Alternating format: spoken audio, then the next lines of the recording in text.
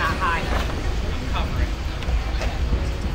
We cannot talk to them, and I mean this, about anything until we deal with us. Right, right. Us. Yes. Us. Because all we going to do after this death is what we've been doing. We're going to pray, we're going to march, we're going to cry, we're going to go back in our communities and keep doing the same thing. Uh-huh. That has to change. We need to meet with each other. Black men and black women, y'all need to stick together, stand together, show up together in the schools, in the church, in the streets, in council meetings. We are not unified. How do you get into a house unless you first bound a man that's in his house? Charity starts in our homes, in our hoods. We need to hold each other accountable, and we need to police the police. Yes. There's no way that any dog should watch a police sister or brother got jumped? You got beat when you was you didn't help. You can't be scared on you. If they killing us, stop. They can't kill all of us. And I'm not saying what you want to hear. I'm saying what you need to hear. We need to get together in our communities to deal with us and stop giving them access to us by doing dumb stuff. That's first. We need to police our own communities. When you see a young brother or a young sister doing something don't do that. Y'all don't do that no more. You go talk about no post about no post about no And this is why they're able to do what they want because they know we ain't solid in our own hood. When you become solidified in your own community, like, let me tell you something, and I'm going to say it. You'll never see them messing with no Haitians. You know why? Because they're going to run up on you. And they stand together. But not us.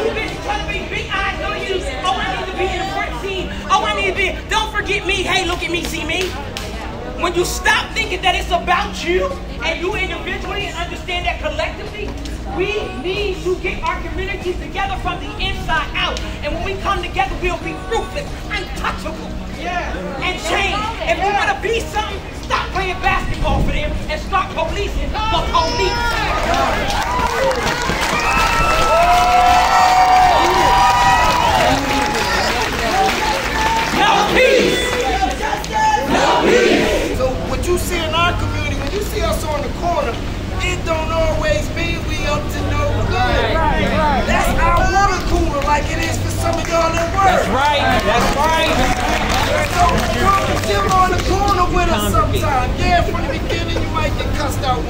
Get used to that. That's how we like right now. Everybody laughing. See? Now they know who Chief Duncan Face is.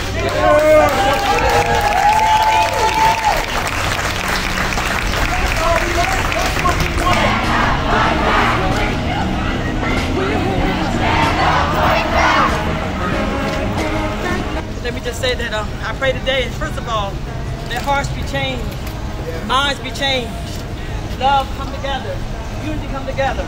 On the east side, the west side, the north side, the south side. I pray that black and white come together today. I pray it's just not about being faced today, having a face, just being here saying I was there. But I pray today that hearts do be changed and minds be changed, starting on the police force. And we're not segregating the police force, but it is what it is about today. We got to keep it 100. So I pray that the police is today would hear what is being said and that we're not against you, but we need y'all to be for us. Because you're supposed to be protecting us. So it is about you today. It's not to come and to, to cause division, but the prayer today is that you cause change and to bring unity together. So I'm going to end it with the Lord's Prayer because God is in control. God has all power. If you don't believe it, you better try. Because I'm one of the ones that never thought I could change. Well, I'm here today to say that because of God, I'm here. And because of God, love y'all here. You might not understand it right now, but bye bye. Keep on living. And after a while, you will have to call on somebody named Jesus. Because I had to call on God or Allah, who you choose to call. But believe me, there is a higher power than all of us. So I'm ending with prayer. Our Father, who art in heaven, hallowed be thy name. Thy kingdom come. Thy will be done on earth as it is in heaven. Give us this day. Forgive us of our sins, trespasses, and we forgive those who trespass with us. Lead us not into temptation, but deliver us from evil. For thine